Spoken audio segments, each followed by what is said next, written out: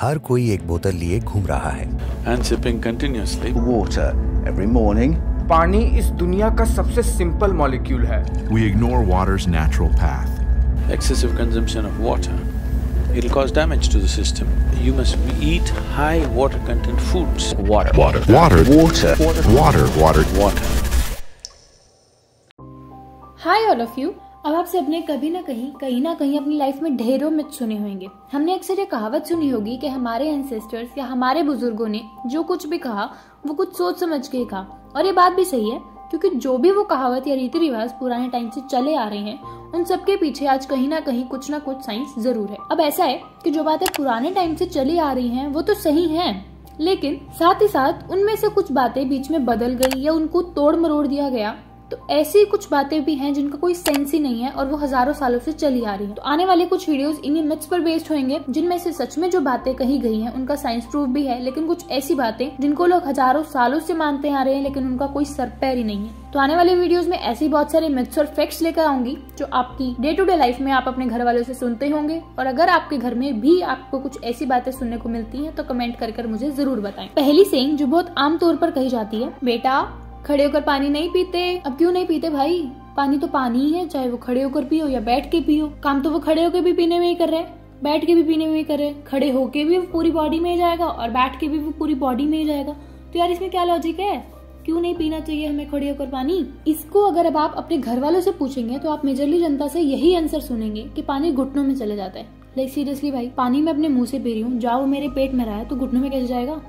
एक नॉर्मल इंसान के दिमाग में यही सवाल उठेगा मेजरली तो आते हैं इसके पीछे की साइंस समझते हैं। According to health experts and Ayurveda पानी पीने का पोस्चर और वो किस स्पीड से हमारी बॉडी में जाएगा, वो बहुत डिपेंड करता है कि आगे चल के हमें कौन कौन से हेल्थ रिलेटेड इश्यूज़ फेस करने पड़ेंगे। अब रीजन क्या है बेसिकली कि जब आप खड़े होकर पानी पीते हैं तो वो पानी विद हाई प्रेशर से ईसोफेगस ईसोफेगस माने खाने वाली नली, वो ईसोफेगस के थ्रू लोअर स्टमक में जाता है और वो अपने आसपास के एरियाज़ को डैमेज करना शुरू कर देता है। क्योंकि वो हाई प्रेशर जा रहा है तो इस वजह से वो डैमेज करना शुरू करता है। अगर आप अगर आप आराम से पानी को पियेंगे तो वो कोई डैमेज नहीं करेगा आपको। अगर आप खड़े होकर पानी पी रहे हैं तो वो इन लॉन्ग रन वो आपके सारे डाइजेस्टिव सिस्टम या पाचन तंत्र को पूरी तरीके से खराब कर देगा। अब आप कहो कि यार क्या बकवास है, वो तो पानी है, सिर्फ़ वो क्या नुकसान दे पाएगा, ये, वो। तो इसको एक सिंपल चीज़ से रिलेट करती हूँ मैं। आप सबने नाइन टेन तो पढ़ी होगी। एक छोटा सा फॉर्मूला जो सबके दिमाग में कहीं ना कहीं तो होगा ही। Pressure equals to force upon area आया कुछ याद? थोड़ा थोड़ा रिवाइंड हुआ होगा। हाँ ठीक है, हो गया। अब इस फॉर्मूले के थ्रू मैं समझाती हूँ थोड़ा सा इतना तो होगा मैथमेटिक्स का ज्ञान कि अगर हमारे पास प्रेशर ज़्यादा लगेगा तो एरिया कम होगा रिवर्स अब अगर हमारे पास एरिया कम होगा तो प्रेशर ज़्यादा होगा। मानते हो कि नहीं मानते? अगर ये मानते हो तो ये भी मानोगे की फोर्स भी ज़्यादा लगेगी बिकॉज़ प्रेशर ज़्यादा लग रहा है pressure is directly proportional to force अब अगर फोर्स ज़्यादा लगी तो अब आप खुद देख सकते हो कि धीरे धीरे प्रॉब्लम आनी शुरू होएगी कि नहीं होएगी। मैं ये नहीं कह रही कि आपको एक दो दिन में खड़े होकर पानी पिया, अगले दिन आपके सारे ऑर्गन खराब पड़ गए। नहीं, बिल्कुल भी नहीं। ये सारी चीज़ें धीरे धीरे इफ़ेक्ट करेंगी हमारी बॉडी को। आपने अपने घर में देखा होगा कि आपके दादा दादी को उनके घुटनों में दर्द रहता है।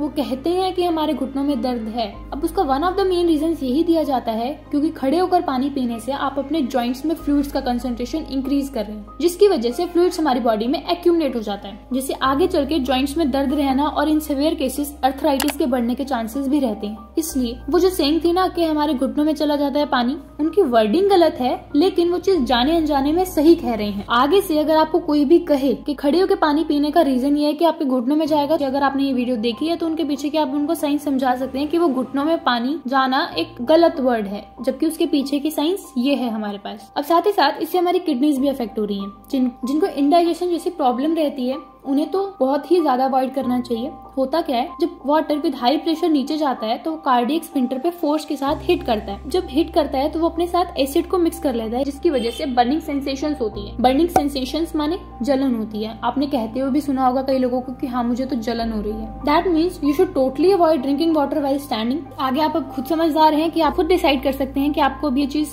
करनी चाहिए या नहीं करनी चाहिए? अगर आप अपने हेल्थ के साथ कॉम्प्रोमाइज करना चाहते हैं तो यू शुड डू दैट और अगर नहीं तो अब आपको रियलिटी पता है कि पानी कितना हार्म कर सकता है हमारी बॉडी के लिए और कैसे कर सकता है। अब, दूसरी सेइंग जो बहुत कॉमन है, वो है कि आपको खाते हुए पानी नहीं पीना चाहिए। ऐसा बहुत लोगों ने सुना होगा कि खाने के ऊपर से पानी नहीं पीना। मम्मी पापा बहुत रोकते हैं कि हाँ नहीं पीना है, बिल्कुल भी नहीं पीना है। और अगर हम पूछते हैं उनसे कि क्यों नहीं पीना चाहिए तो जवाब बस नॉर्मली से आके हाँ बस बेटा, नहीं पीना चाहिए। फालतू की बहस नहीं करनी है तो नहीं करनी है। ये क्या जवाब हुआ भाई? गजब बेइज्जती है।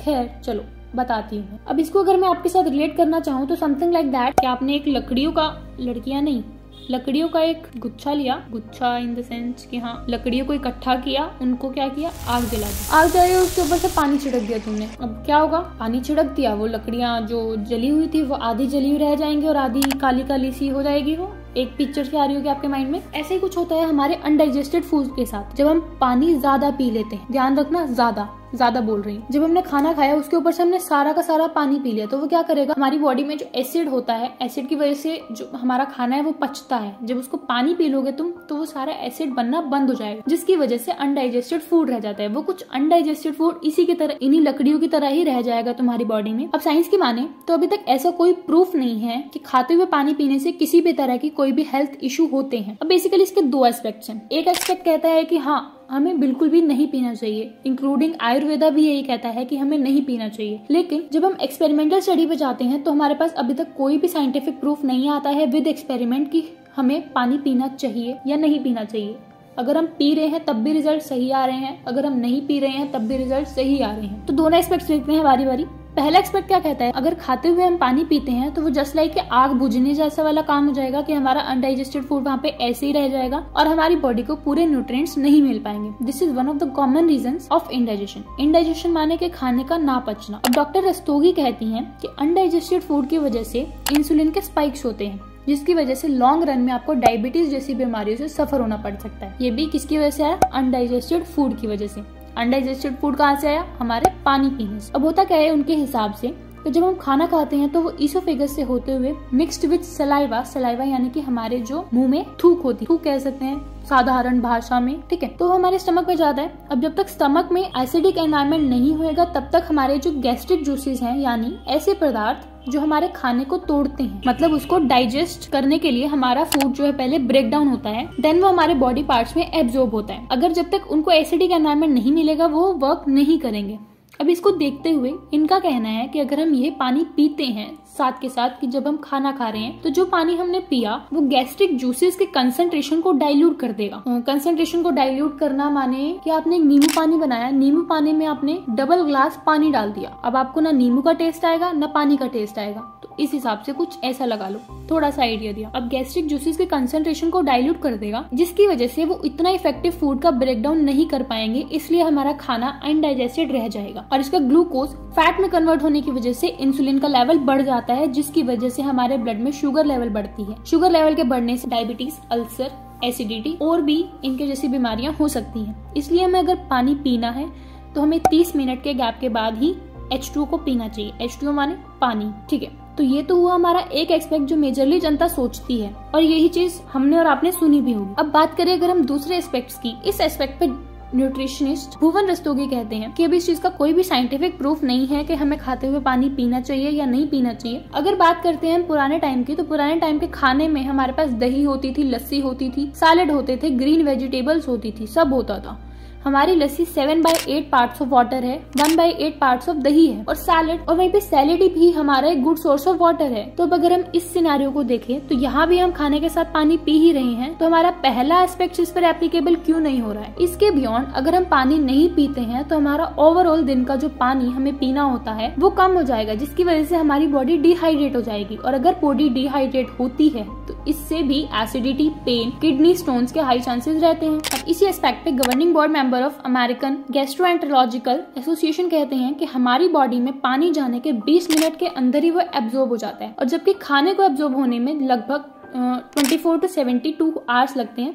इसका मतलब अगर पहले वाली डाइल्यूशन की बात माने तो वो डाइल्यूशन कुछ टाइम के लिए होगा, जब तक वाटर एब्जॉर्ब नहीं होता। लेकिन साथ में वो ये भी कहते हैं कि अगर हमने पहले से ही पानी पी रखा है और उसके बाद हम खाना खा रहे हैं तो पानी आपके डाइजेशन में इंटरफेयर नहीं करेगा बिल्कुल भी। तो अब अगर आप दोनों एस्पेक्ट्स को देखें और हम दोनों को मान के चलें तो ऐसा नहीं करना कि हमें पानी ही नहीं पीना है, या ऐसा भी नहीं करना कि हमें पानी का पूरा ही गिलास कटक जाना है। नहीं, बिल्कुल भी नहीं।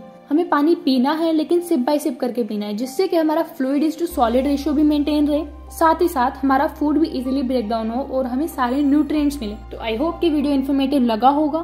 तब तक के लिए लाइक करें कमेंट करें शेयर करें etcetera etcetera also suggestion are welcome bye bye